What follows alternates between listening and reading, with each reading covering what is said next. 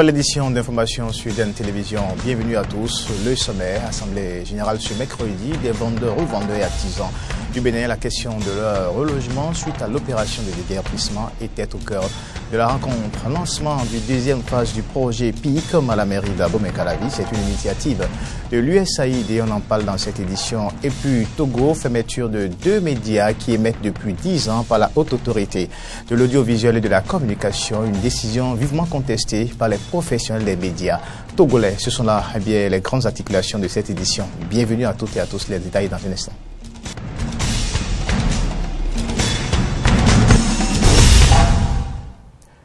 Eden Info. Lancement ce, eh bien, ce mercredi de la deuxième phase du projet paquet d'intervention à haut impact. Au niveau communautaire, le projet PICOM est une initiative de l'USAID qui vise à réduire la mortalité maternelle, néonatale et infantile. Carole Olaye, Damien Pedro.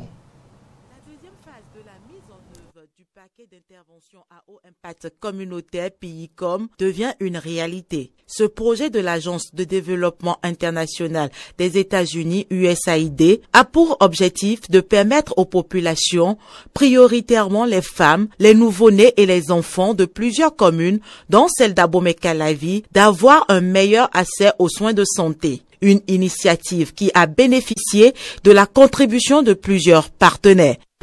Votre participation active aidera à garantir une campagne de vaccination mieux planifiée, par exemple, et à empêcher que les enfants soient laissés pour compte. C'est sous votre rôle directeur d'une planification sanitaire vise à fournir aux familles des moustiquaires Sephora, contribuant ainsi à la réduction du paludisme, qui est la cause première de mortalité chez les enfants. Le lancement officiel du PICOM va donc permettre l'amélioration de la qualité des soins qui seront administrés aux populations et le renforcement des compétences du personnel sanitaire dans les différentes communautés. Paquet d'intervention à haut impact, dans son volet communautaire, vient non seulement optimiser la couverture sanitaire de notre zone, mais aussi élargir la prévention et même l'élimination des décès maternels et infantiles au niveau des villages et quartiers de ville des neuf arrondissements d'Abomey-Calavi. Je voudrais également, à la suite du deuxième adjoint au maire d'Abomey-Calavi, vous assurer de l'engagement des maires, qui, engagement qui permettra de garantir à cette intervention son caractère inclusif. Faisons tous pour qu'il y ait une troisième phase et pourquoi pas une quatrième phase. Le paquet d'intervention à haut impact communautaire sera exécuté par les ONG béninoises dans toutes les communes retenues que sont Savalou, Banté, Cotonou, Commun, Grand Popo, Alada, Zé, Tofo, Bopa et ceci pour une durée de trois ans. Les revendeurs, vendeurs et artisans du Bénin sous la direction du Comité national des revendeurs, vendeurs et artisans du Bénin pour la liberté et le pain cône arabe se sont réunis en Assemblée générale ce mercredi 8 février à la Bourse du Travail.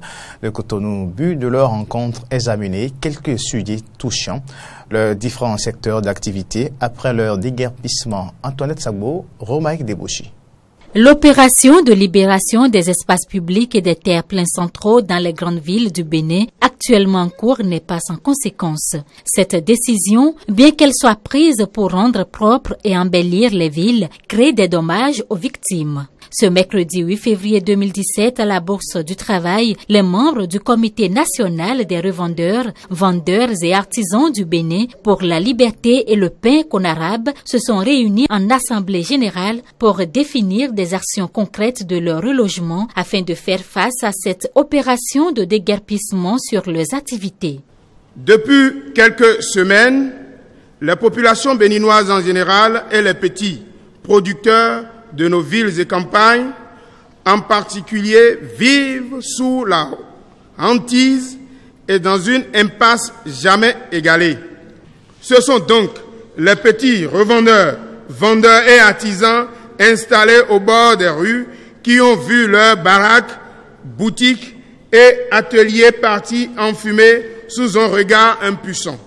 À Cotonou, par exemple, Modeste Toboula et Armand Ganser, respectivement préfets du littoral et DG de la Sogema, s'acharnent actuellement contre les revendeurs de friperies dont le site se trouve logé dans le grand marché de Misebo. La présidente du CONARAB, Thérèse Wanwa, quant à elle, déplore ce qu'elle considère être l'indifférence du gouvernement vis-à-vis de ses victimes. Les dégâts que ce déguerpissement a causé et continue de causer sont énormes. Le gouvernement n'a pas pensé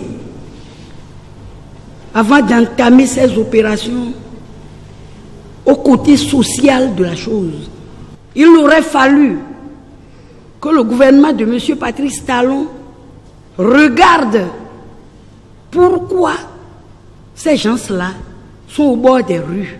Et ils comprendraient que c'est parce que les réserves ont été morcelées, vendues et récupérées, penser à récupérer ces domaines-là pour les marchés de proximité.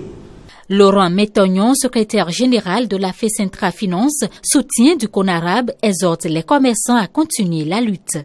Continuez cette même lutte, non pas parce que vous êtes contre ce que au Bénin on est du beau, qu'au Bénin qu'on ait un marché digne, un Bénin où lorsqu'on y vient, on sent qu'il y a un cadre de vie admirable. Lorsque vous battez, vous trouverez toujours les combattants à vos côtés. Le relogement sur les sites appropriés demeure la seule revendication que les membres du CONARAB adressent au gouvernement de Patrice Talon afin de subvenir aux besoins de leur famille. Ralentissement des activités au marché de Sekou, situé à quelques kilomètres d'Abomey-Calavi. Le calme qui règne dans ce lieu cache un malaise profond, malaise que les habitants ou les usagers de ce marché analysent de diverses manières. Marché de Sekou, les causes du ralentissement des activités, c'est un sujet de Fréjus Servlan et Denis Marouya. Ces dames, elles préparent le jour du marché, pour les unes et les autres y font déjà leur petit commerce quotidien. Au niveau des rares étalages, un calme apparent, les clients se font rares. C'est dire qu'au-delà de l'aspect pacifique qui semble régner sur le marché de Sekou, se cache un malaise profond. Bon, à présent, le marché, bon, nous voyons également qu'il y a un grand problème qui se pose également dans le marché parce que ça ne fonctionne pas du tout. Ce n'est donc plus une rumeur, les usagers le confirment. Le marché de Sekou ne s'anime plus comme à ses beaux jours. Et pour expliquer la situation, différentes thèses s'affrontent.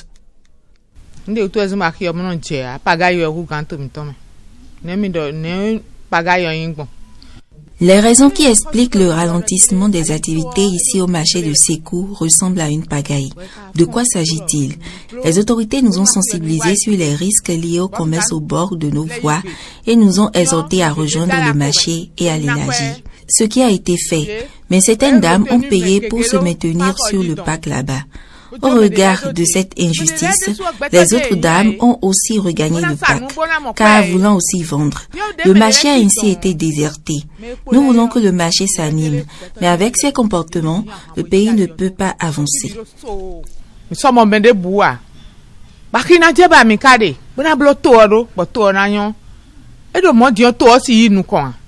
Les arguments évoqués par Julienne Sekou, commerçante, semblent être les principales raisons du ralentissement des activités du marché de Sekou, Jean Kiaon a lui son idée sur la question. Il pointe du doigt les hommes politiques. Ça ne fonctionne pas du tout. Et le problème, c'est au niveau du politique. Et si les gens voulaient être quelque chose ou bien d'être candidats, ils vont venir nous en, disant qu'ils veulent faire telle chose, telle chose dans le marché, ils vont aménager le marché pour nous, de faire tout possible pour les voter. Et à présent, c'est le contraire. Les gens n'arrivent pas à rentrer dans le marché parce qu'il y a des ordures partout. Même si les, les, toiles, si vous voyez, les toiles, tout est rouillé dans, la, dans le marché. Donc, voilà que les étrangers, ils ont peur de rentrer dans le marché parce que Tu ne peux pas rentrer. S'il pleut, tu dois tomber. Tu ne peux pas marcher. Quant à Parfait Agbessi, commerçant au marché de Seco, le problème est beaucoup plus lié à l'adoption d'autres marchés par les clients. En fait, le marché s'animait parce qu'il y avait plus d'agriculteurs, il y avait plus de paysans qui vendaient. Mais il s'est fait que les clients et non plus, les, clients ont déserté le marché de Sekou. Ils ont préféré les marchés de Glo et d'Alada. Là-bas, les choses sont un peu moins chères. Donc, euh, euh, comme il n'y a plus affluence de clients, les, paysans aussi ont choisi euh, de, rejoindre les autres marchés, les, marchés d'Alada et de Glo. L'élaboration d'une meilleure politique de gestion et l'application équitable des décisions à tous s'avère donc urgente pour dynamiser les activités au marché de Sekou. Info hors du Bénin. À présent, Togo, la haute autorité de l'audiovisuel et de la communication a retiré les fréquences de deux médias privés qui émettent depuis dix ans pour n'avoir pas rempli les formalités préalables d'autorisation à trois prix MADI auprès de l'institution. La télévision La chaîne du futur et la radio City FM qui appartiennent au groupe Sud Média n'ont obtenu aucune autorisation préalable avant de commencer à émettre en 2007, a déclaré à l'agence France Presse Mathias Ayena, deuxième rapporteur de la haute autorité de l'audiovisuel et de la communication. Nous demandons simplement aux responsables de ces organes de faire une demande en bonne et due forme et nous allons analyser, a-t-il poursuivi. Mais du côté des travailleurs de ces deux stations, cette décision est contestée car complique vivement leur situation et menace leur emploi. Au-delà du contentieux, au-delà de toutes les considérations que nous entendons par-ci et par-là, qu'il pourrait s'agir d'une lutte fratricide, euh, d'une lutte entre deux éléphants, au-delà de ça, c'est la situation du personnel qui euh, risque de se retrouver de fait au chômage. Et vous savez que dans notre pays, le taux de chômage est inquiétant. Quand je vois mes enfants, je me dis que leur avenir est hypothéqué. On ne peut pas travailler dans une structure plus de 10 ans, on m'annonce aujourd'hui qu'on n'a pas de dossier. On me dit, va rester à la maison. Vous savez dans quelles conditions nous sommes dans ce pays aujourd'hui. Louis Kabaki, directeur général du groupe Sud Média, juge la démarche de la haute autorité de l'audiovisuel et de la communication illégale, assurant que toutes les démarches avaient été effectuées à plusieurs reprises pour soumettre le dossier. C'est une décision abusive. Elle est abusive du fait que le président, la personne du président de la haute autorité de l'audiovisuel et de la communication n'a aucune compétence pour prendre une décision de cette nature et la notifier à un organe comme le groupe Sud Média. Si nous n'étions pas en règle, il appartenait à la HAC depuis 2007 où on a commencé à émettre de réagir. Et pourtant, nous avons toujours collaboré avec cette HAC-là. Et les membres de la haute autorité de l'audiovisuel et de la communication sont toujours venus ici. Nous avons toujours bénéficié de l'aide de l'État à la presse. Je ne sais pas quelle mouche a piqué le président de la haute autorité de l'audiovisuel et de la communication pour, qu'il soit amené à prendre une telle décision. Dans un communiqué, l'ONG Amnesty International a dénoncé lundi soir une attaque contre la liberté d'expression. L'organisation a estimé que cette sanction est disproportionnellement lourde au vu des faits reprochés. L'autorité de régulation avait déjà fermé plusieurs médias en 2013, notamment la radio Légende FM pour multiples dérapages, affirmant qu'elle diffusait de fausses informations durant les législatives. Nigeria, les compagnies aériennes internationales refusent d'emprunter l'itinéraire alternatif qui sera mis en place pendant la fermeture du seul aéroport desservant Abuja, la capitale du Nigeria, en mars, obligeant les voyageurs à faire de longs et coûteux détours. Voici le compte rendu. L'aéroport international Nandi Asigwe d'Abuja va fermer complètement ses portes à partir du 8 mars pour permettre la réparation de la piste d'atterrissage. Les vols intérieurs et internationaux seront détournés vers Kaduna à 170 km au nord. Mais Lufthansa Air, Air France et South African Airways ont déjà déclaré qu'elles ne détourneraient pas leurs vols en provenance de Francfort, Paris et Johannesburg vers Kaduna ou ailleurs au Nigeria. British Airways et Turkish Airlines n'ont pas encore annoncé leur destination, mais ont toutes deux suspendu les ventes de billets à destination d'Abuja durant la période de fermeture. Selon le secrétaire d'État à l'aviation Adi Sirika, les travaux qui vont durer, l'aéroport d'Abuja sera fermé pour des travaux de réfection. Ces travaux qui vont durer six semaines sont nécessaires car la piste construite en 1982 est prévue pour une durée de vie de 20 ans est aujourd'hui défaillante et dangereuse, a-t-il précisé. Le Nigeria, pays le plus peuplé d'Afrique, traverse l'une des pires crises économiques de son histoire, couplée à une inflation qui frôle les 20% et à une chute de sa monnaie locale qui ont fait fuir les investisseurs étrangers. Le Somalien Mohamed Abdoulaye Mohamed dit Famadio, élu mercredi à la présidence de son pays, est un ancien premier ministre et diplomate qui a promis lutter contre la corruption et l'extrémisme islamiste gangrenant ce pays en lambeaux de la Corne de l'Afrique. Né en 1962 d'une famille issue de la région de Guido, dans le sud du pays, cet homme est réputé populaire dans les rues de Mogadiscio. Le processus électoral ayant mené à sa victoire a beau avoir été de corruption et manipulation de nombreux Somaliens ont fêté son élection mercredi soir. Voici les réactions de quelques acteurs politiques influents du pays.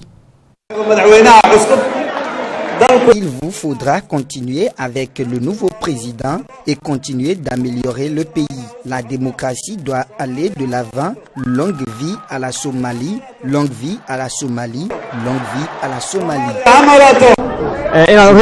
Féliciter l'ancien président Hassan Sheikh Mohamoud pour avoir concédé sa défaite. Il a souligné une amélioration dans le pays. Je voudrais également féliciter le nouveau président. Nous, les députés, sommes prêts à travailler avec lui. C'est une bonne nouvelle pour la Somalie.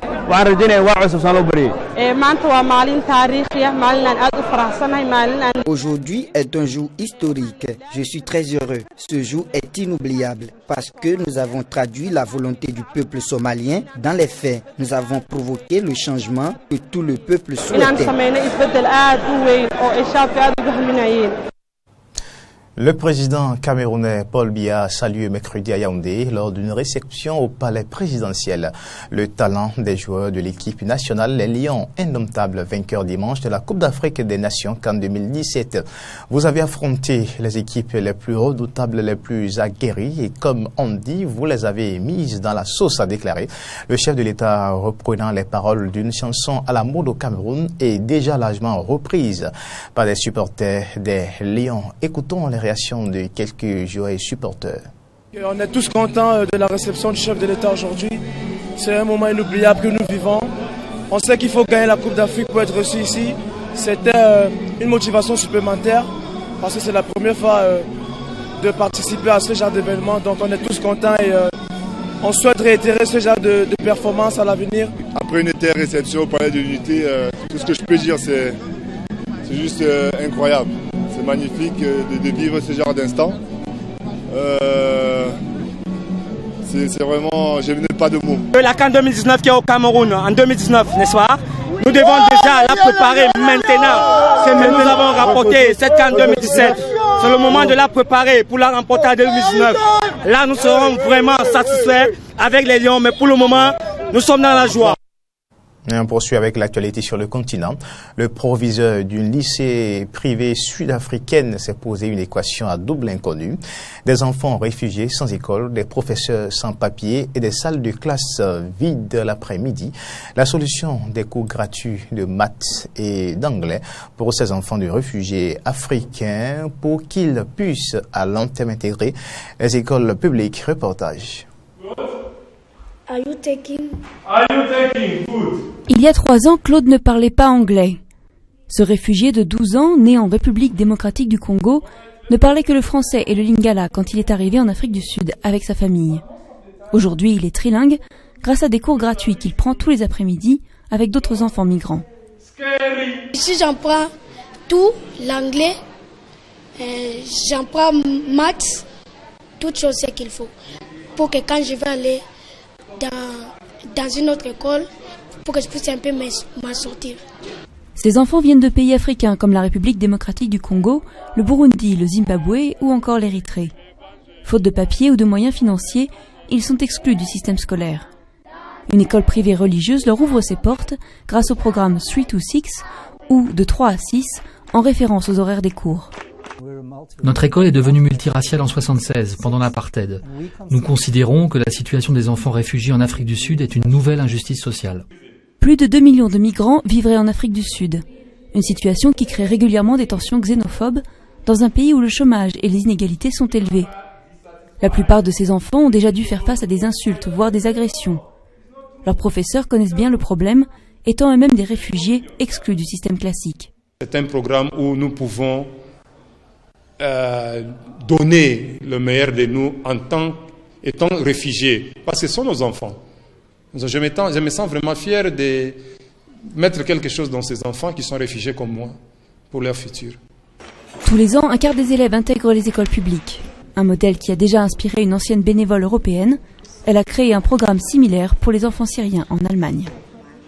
Et puis l'Écosse dit non au Brexit. Le Parlement écossais a voté à une grande majorité contre le projet de loi du gouvernement britannique autorisant Theresa May, première ministre du pays, à lancer le processus de la sortie du Royaume-Uni de l'Union européenne. On précise que ce vote n'est que symbolique parce que la décision des parlements régionaux n'est pas à prendre en compte selon une décision de la Cour suprême. Réaction. Le résultat du vote sur la motion 3858 amendée, les 90 voix pour, 34 voix contre, aucune abstention. La motion amendée est approuvée. Ceci est le Parlement écossais. Les gens qui ont voté pour nous sont des électeurs écossais. Ils s'attendent à ce que nous nous battions pour l'Écosse. Mais ce que nous allons aussi faire, Monsieur le Président, c'est ceci. Ne jamais laisser l'Écosse se faire humilier et ses choix démocratiques rejetés. Et nous ne tournerons jamais, jamais le doigt à l'Europe et au monde. Et l'info Stop et fin. Merci de votre aimable attention. Retrouvez Carole Olaye pour l'édition de la soirée. Au revoir.